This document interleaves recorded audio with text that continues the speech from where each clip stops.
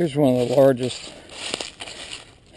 breakdowns of the berm wall. And this is one where water really pours in when the river's at flood stage.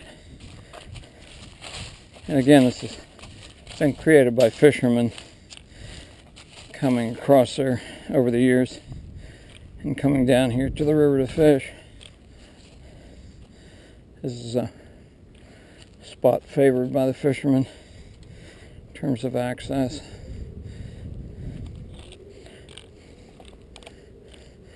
There you can see the numerous small islands and larger island. No sign of the eagles today. In fact, I'm having difficulty spotting the nest, which concerns me. It may have come down. We had some high winds a couple of days ago.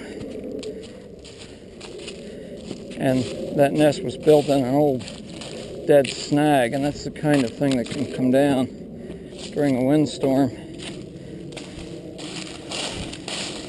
But it's early enough in the season if that happened, the eagles more than likely try to rebuild it quickly and continue with with uh, mating and trying to raise some young.